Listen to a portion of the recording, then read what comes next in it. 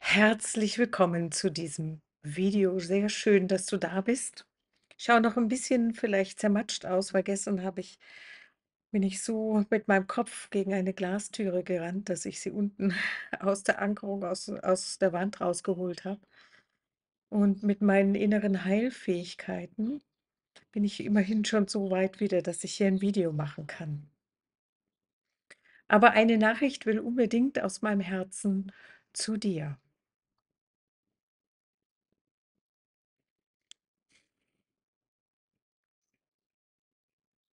Wir haben so viele Jahrhunderte Jahrtausende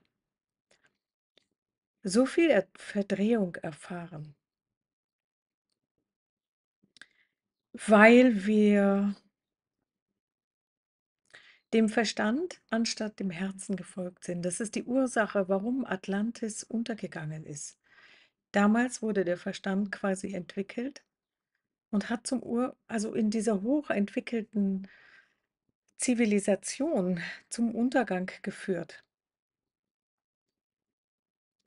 Und wir haben eine ganze Gesellschaft, die aufgebaut ist auf dem Verstand und aus auf dem Bewusstsein vom Verstand.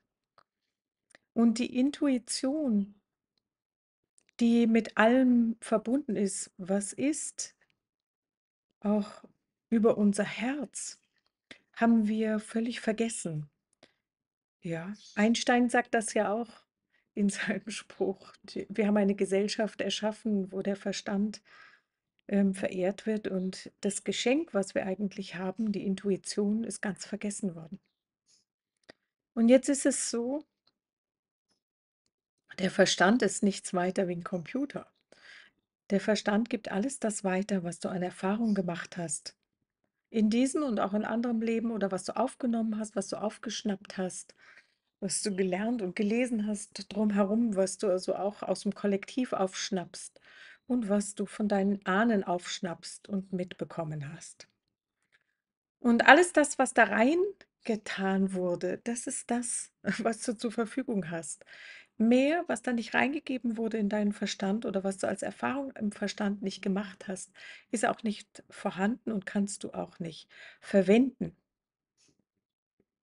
Im Grunde genommen ist das ein im Verhältnis zu unserer Intuition ein wirklich sehr kleines, beschränktes Denkvermögen. Derweil ist wirklich das Herz von dir, was zu deinem wissenden Sein verbunden ist, zu deinem unsterblichen Wesen, zu deinem multidimensionalen Wesen was du eigentlich bist, zu dem göttlichen Wesen, was du eigentlich bist zu der unsterblichen Energie unsterbliches Bewusstsein, was du wirklich eigentlich bist, dass der Zugang dazu geht übers Herz oder die Intuition und die Intuition. Und hier haben wir nicht nur die Möglichkeit, auf ein Wissen zuzugreifen, was einmal irgendwo in uns abgespeichert wurde, sondern hier haben wir 'n Wissen zur Verfügung, was all unsere Leben betrifft, was wir bisher erfahren haben, was bis in die alle Zukunft hineinkommt. Aber nicht nur von dir, von jedem anderen Menschen, von allem, was ist. Hier ist das universale Bewusstsein, in das wir hineingehen können. Und hier existiert keine Trennung. Wir erfahren im Zwischenmenschlichen zum Beispiel unmittelbaren Spiegel. Du kannst am anderen nur wahrnehmen was von dir reflektiert wird. Was anderes ist nicht möglich wahrzunehmen. Deine Reflexion zeigt sich in einem anderen Menschen. Das heißt, solange wir noch Hass empfinden anderen Menschen gegenüber können wir uns selbst offensichtlich nicht annehmen und nicht lieben. Solange wir noch denken andere Menschen sind ja so furchtbar und so schlimm und sie gehen so und so und machen das und das. Und alles das, was sie machen, das verabscheue ich. Solange ich so denke gehe ich natürlich davon aus, dass ich nix davon habe, aber ich bin nur in der Lage zu sehen, was ich selber bin.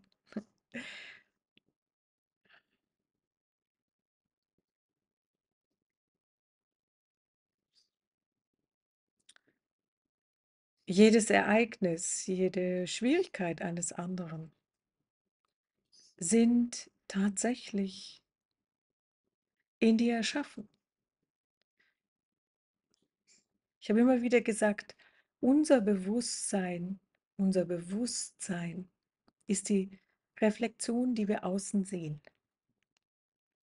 Wir haben gelernt dass die messbare Welt die Realität ist. Das Aus also jetzt also wenn das im Außen passiert, dann dann ist es wirklich Realität, dann ist es angekommen. Zum Beispiel. Oder wenn wir uns außen begegnen, dann begegnen wir uns wirklich. Vorher begegnen wir uns nicht wirklich. Wir haben all diese Jahrtausende, Jahrhunderte gelernt, außen wäre die Realität. Die Realität des Verstandes. Der Verstand gehört zum Körper. Der Verstand gehört zu den 5 Sinnen und genau damit erfahren wir das Außen als eine Realität, als fest, als unverrückbar. Und solange wir in dem Bewusstsein gefangen sind erleben wir Leid gegeneinander, Kriege, Schwierigkeiten, Mühsal, nicht können, nicht gut genug sein, kein Geld haben, nicht unsere Träume verwirklichen können.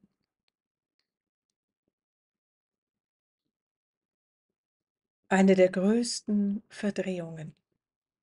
Der Christusimpuls selber ist natürlich wieder verdreht worden, aber seine Kernmission, die er den Menschen bringen wollte, ist: In dir ist das Göttliche zu finden. Das bedeutet, in dir ist die Realität.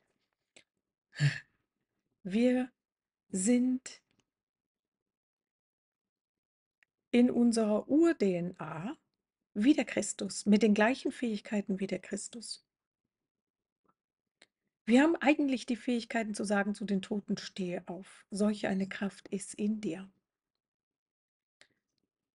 Und diese Kraft in uns können wir nur accessen, können wir nur aktivieren, wenn wir anstatt nach außen, nach innen gehen. Anstatt das Außen, was die Reflexion und der Spiegel ist, als Realität anzusehen, müssen wir erkennen, dass unsere Gedanken, unsere Gefühle, unsere Erwartungen das sind, was sich außen manifestiert. Dein gesamtes Denk-, Wahrnehmungs- und Auffassungsbewusste und unterbewusste Vermögen ist, was du im Außen siehst. Wenn du nicht weißt, was du unterbewusst denkst, schau dein Außen an. Wenn du unterbewusst Angst vor Krieg hast, ja, dann hast du im Außen das Feld, wo dir eventuell Krieg begegnen könnte. Was heißt das und warum ist das so eine wichtige Botschaft, die ich dir hier gebe? Es bedeutet, dass wir als Menschen auf der Erde erkennen dass diese kleine, aber gigantische Verdrehung, dass außen die Realität ist, wieder zurückgedreht werden muss, dass innen die Realität ist. Das bedeutet, wenn ich in mir Angst habe vor egal was, muss ich in mir diese Angst auflösen, beziehungsweise die Ereignisse auflösen, die mir Angst erzeugen. Alles, was dir Angst erzeugt, ist in deinem Gehirn, in deinem Kopf, in deinem Verstand gespeichert, egal woher. Es ist eine Speicherung aus dem Verstand.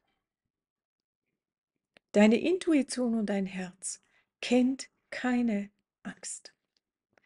Keine. Es existiert Angst überhaupt nicht. Weil es Wissen existiert.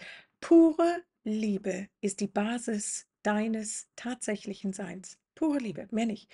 Oder das enthält alles.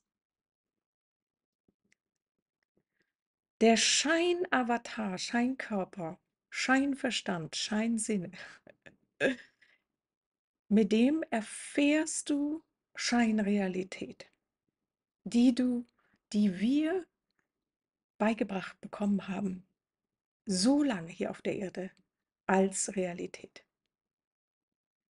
Wenn du Kinder anschaust, wie sie auf der Erde kommen, dann ist dort kein Verstand entwickelt, wenn sie klein sind und auf die Erde kommen, verkörpern sie pure Liebe. Und ihr gesamtes Handeln ist spontan, angeschlossen, pur und echt.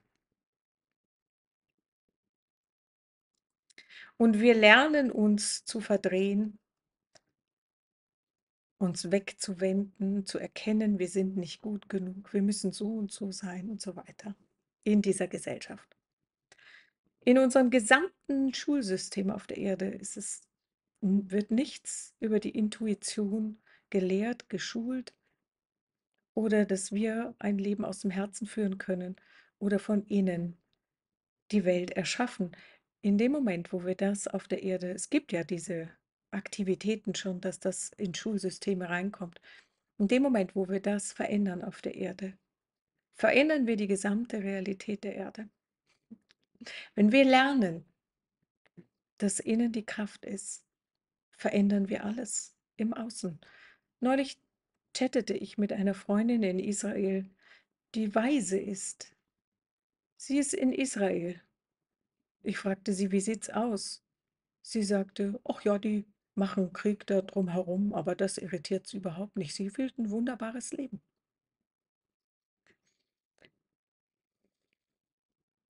Das kann ich nur sagen, wenn ich in mir Krieg und die Anhaftung zu Krieg entlassen habe. Wenn du im Moment Angst vor Krieg hast, weil die Medien das schüren, weil andere sagen, so und so ist es, dann geht es darum, jetzt in deine Kraft zu kommen und zu sagen, okay, hm, ihr könnt ja gerne sagen, was ihr wollt, aber ich gehe in meine Kraft. Meine Kraft liegt im Innen. Da, wo ich alles an Glaubenssätzen, an Erfahrungen lösche. Ja, ich kann alle Erfahrungen löschen, die ich im Verstand gespeichert habe. Genauso wie du am Computer das in den Müll ziehen kannst und ähm, den Button drücken kannst, Delete forever, und du kannst es löschen für immer. So funktioniert das. Das kannst du mit allen Erfahrungen im Verstand tatsächlich machen. Ja, wenn wir unsere Erfahrungen als Mensch löschen bzw. verzeihen und entlassen, sind sie aus unserem Feld und anstattdessen können wir das in unser Feld hineinlassen, wo unser Herz anfängt zu jubilieren. Alles wandelt sich. Kriege hören auf. Anstattdessen können wir den Frieden mit den Menschen auf der ganzen Erde leben und fühlen. Wenn wir die Erde als Ganzes mit ihren Menschen sehen, dann haben wir wie ein Blumenfeld, was noch richtig lebendig ist, eine unglaubliche Artenvielfalt auf der Erde. Wenn wir nicht gelernt haben, tolerant zu sein und die Vielfältigkeit der einen göttlichen Urenergie, die alles durchzieht, Menschen, dich, Pflanzen, Tiere, Steine, die Erde, Gewässer, das gesamte Universum mit all seinen Planeten. Wenn wir nicht gelernt haben, Achtung vor allem Fremden und anderen zu haben, bleiben wir immer im Verstand in der kleinen Bürgerlichkeit und Trennung und im schwierigen Leben. Wo in deinem Leben und in deinem Feld kannst du anfangen, die Artenvielfalt zu achten, zu tolerieren, zu entdecken, zu staunen, zu lieben, lieben zu lernen. Das heißt, wenn du Angst vor Krieg hast, geht es zum einen darum, in dir alles zu entlassen, was an Erinnerungen kollektiv von den Ahnen oder von dir selbst in deinem eigenen Feld ist. Über folgende Löschtechnik. Ich höre, du brauchst jetzt eine Löschtechnik. Ich gebe dir jetzt eine Löschtechnik hier in diesem Video. Schließe deine Augen.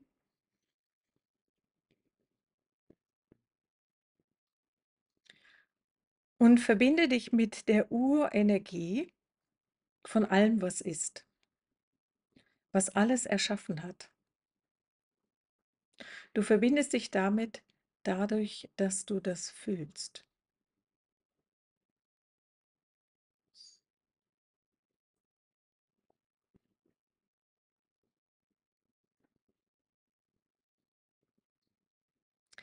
Und jetzt fühle, wie du diese Energie anweist auf folgende Worte, die du mir nachsprichst.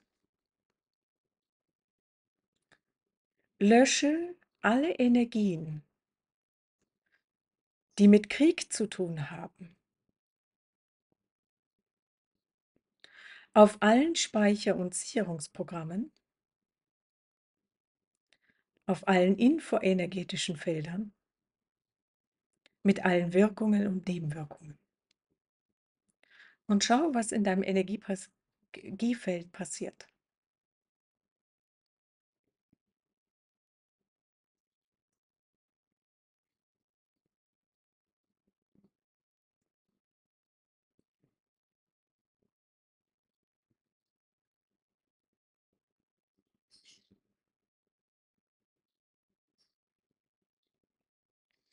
Du kannst es jetzt weiter laufen lassen. Die Energie wird jetzt aus deinem System gelöscht. Und verbinde dich jetzt wieder mit der Quelle von allem, was ist, von allem, was erschaffen wurde, von allem, was alles erschafft.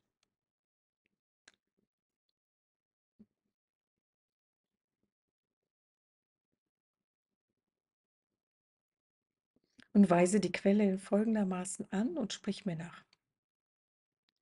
Fülle alle frei gewordenen Bereiche mit purer Liebe auf. Und schau, was passiert in deinem Energiesystem.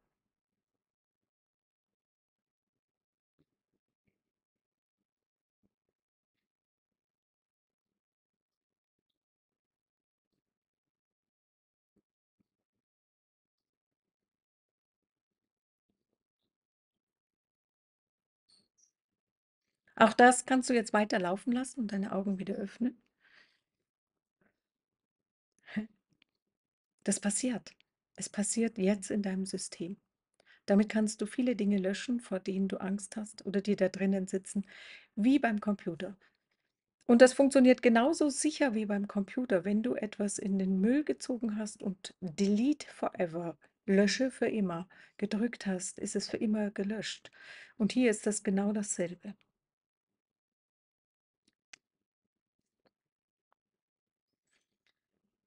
Und gleichzeitig lerne zu erkennen, wir sind das nicht, was wir hier als Rolle spielen und was wir hier erfahren. Jeder und auch du bist ein vollkommenes Wesen, mit allem verbunden und zu Unendlichem in der Lage. Dein Kern ist pure Liebe. Es geht darum, die Verdrehungen zu erkennen, zu entlassen und in eine Kraft zurückzutreten und nach Hause zu holen, was nach Hause gehört. Und das bedeutet, dass du erstens mal anfängst, dich selber zu erkennen, wer du eigentlich bist, in die Liebe, was du eigentlich bist, zurückkehrst und auch den anderen Menschen erlaubst, ihre Rollen in deinen Augen abzulegen, ihre Imperfektion zu verzeihen, die sie nur als Rolle, so wie du auch, die nur als Rolle haben kannst, und zurückzukehren in die Liebe, die wir alle eigentlich sind. Das ist die Arbeit, die getan werden muss, wodurch das, was die Medien gerne wollen, nämlich Krieg zu verkünden, damit wir das durch unsere Angst manifestieren. Sie können das gar nicht alleine. Ja, worauf es ankommt, das verpuffen zu lassen und eine friedliche, kraftvolle Welt von Menschen, die in ihrem Herzen verankert sind und wirklich wissen, zu erschaffen. Das ist die Fragestellung jetzt, wo du hier in diesem Video bist und das hörst und hierher auf diese Ebene von Realität geführt wirst. Das ist das, wofür du da bist.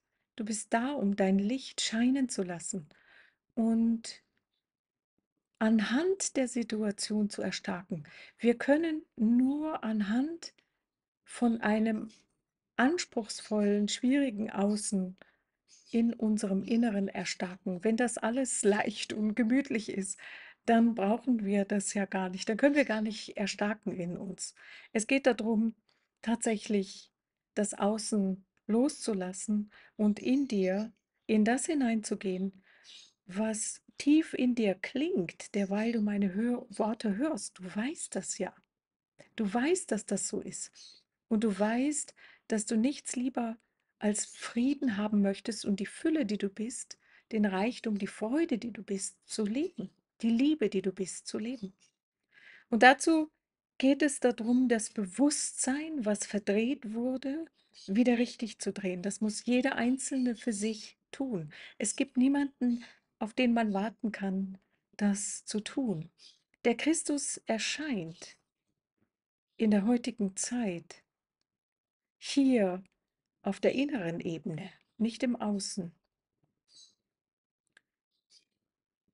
Durch Menschen, die dich wieder daran erinnern, an das Christusbewusstsein, das Universalbewusstsein. Krishna-Bewusstsein ist dasselbe zum Beispiel für die Inder, ähm, für die Hindus. Das ist auch noch nicht mal, wie sagt man, so fixiert. Es geht um das Erkennen der Manipulation und das Drehen von ihnen in die tatsächliche Anbindung zurück. Ich weiß und ich freue mich sehr, weil du hast mich sehr, sehr tief verstanden. Und ich freue mich, wenn du meinen dieses Video likest und meinen Kanal abonnierst und auch hier unten drunter Kommentare schreibst, weil das diese Nachricht sehr, sehr viel weiter auf YouTube vorausbringt. Und es ist etwas, was ganz viele Menschen hören müssen. Und ich freue mich, wenn du das teilst an alle Menschen, wo du weißt, die müssen das jetzt hören. Hier liegt die Kraft, auf die es jetzt ankommt. Alles ist sehr positiv. Ich freue mich von ganzem Herzen auf dich das nächste Mal. Ich freue mich sehr, dass wir diese tiefe innere Verbindung haben, dass du bis hierher in meinem Video gehört hast. Bis dann, danke dir.